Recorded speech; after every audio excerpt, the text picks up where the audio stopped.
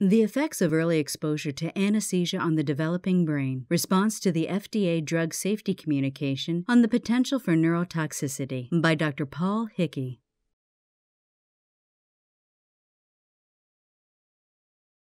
I am Dr. Paul Hickey. I serve as chair of the Department of Anesthesia at Harvard Medical School and the anesthesiologist in chief at Boston Children's Hospital.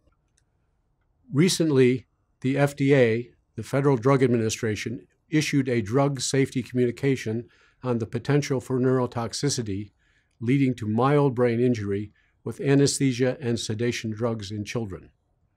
This communication stated to better inform the public about this potential risk, we are requiring warnings to be added to the labels of general anesthesia and sedation drugs. Based on preclinical reports, this FDA warning has certainly increased public awareness of the potential risk of anesthesia and sedation drugs.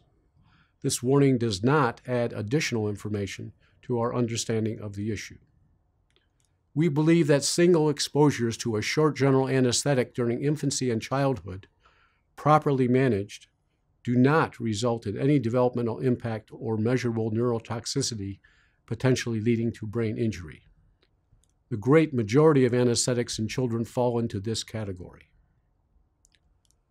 However, this FDA warning does oblige clinicians to work together with the family to discuss and balance all the risks of anesthesia, not just brain injury, with the benefits of the proposed procedure or diagnostic test for each child.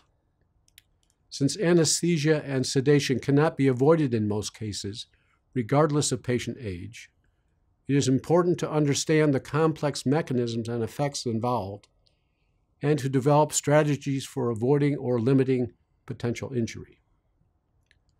The FDA drug safety communication about anesthesia and sedation drugs underscores the need to pursue clinical investigations.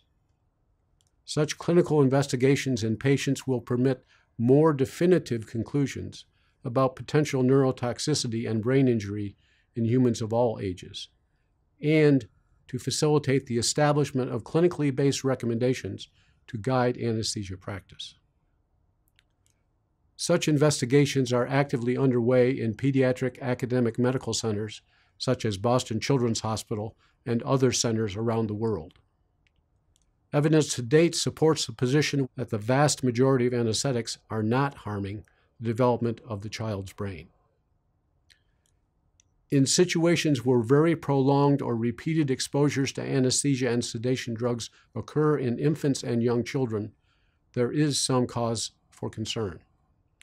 However, even in such unusual cases, we know that proper management of anesthesia and sedation, as is being done in this institution and others, can minimize exposures to potentially neurotoxic drugs, increase use of safer drugs and techniques, and reduce risk of any impact on brain development.